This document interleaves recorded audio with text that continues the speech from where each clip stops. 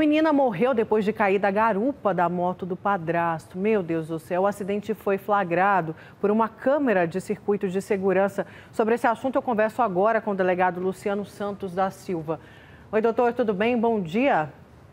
Olá, bom dia, tudo bem. Como que aconteceu esse acidente? A menina estava com equipamento de segurança, com capacete? Como que foi isso? Bom, é, segundo as informações que nós já levantamos, nós já instauramos inquérito né, para apurar essa situação. A criança estava deslocando em uma motocicleta com o padastro aqui na avenida principal de Porangatu e por algum motivo é, o padastro, né, o piloto da motocicleta acabou se desequilibrando. A gente está apurando para verificar se foi por conta de uma vala que foi, foi feita pela prefeitura.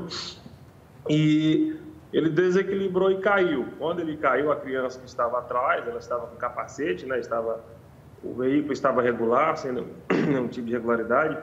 Quando ele caiu, a criança foi lançada, foi lançada desculpa, para a lateral do, da rodovia e acabou sendo atingida por um caminhão que estava deslocando no mesmo sentido. Né? Era uma avenida de sentido único, na mão que eles estavam quando ela caiu, ela fatalmente foi lançada praticamente para debaixo da roda do caminhão que acabou passando, acabou passando por cima dela.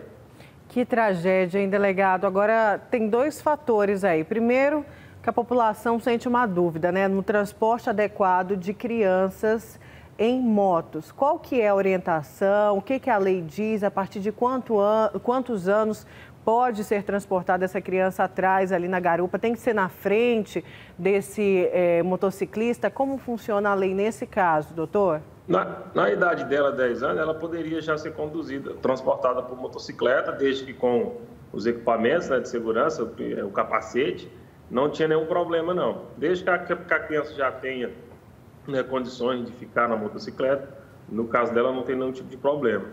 E aí a orientação é essa, né? Colocar um capacete adequado, né? Às vezes o capacete é maior do que a cabeça da criança e acaba ficando folgado. No caso dela, a morte não, não foi por conta da ausência de medida de segurança, né? Até porque, até como falei, o motorista era, era habilitado, o piloto era habilitado, a motocicleta estava em dia, é, e foi, a gente tá, estamos trabalhando com a hipótese de uma fatalidade mesmo, não agora, por ausência de segurança. Agora o senhor falou de uma outra situação, era um buraco, uma vala ali aberta, seria isso mais ou menos, que talvez tenha se deixado pela prefeitura, o que fez esse motoqueiro, né, o padrasto dessa menina, acabar se desequilibrando, caindo ali e isso aconteceu, a tragédia. Isso está sendo investigado. O que, que tinha ali? Que obstáculo era esse, delegado? É, a, a, prefeitura aqui local está fazendo o que eu acredito ser um, uma vala para escoamento de água na lateral da, da, da avenida, né, na parte interna. E é, essa vala, ela é, um, é razoavelmente funda, assim, né, para fins de é, suficiente para desequilibrar uma motocicleta. Quando a polícia chegou ao local, não havia sinalização né, pra, de perigo. Então, é, é, há uma grande possibilidade que esta vala feita para escoamento de água né, tenha sido é, um dos fatores principais para causar o acidente. Pela imagem é possível ver que o motociclista, motociclista acaba perdendo ah, o controle da motocicleta né, é, pela roda dianteira, né, então provavelmente é, essa vala acabou desequilibrando ele. Então essa vala foi construída pela prefeitura e no momento que a polícia chegou, né, ela não estava sinalizada.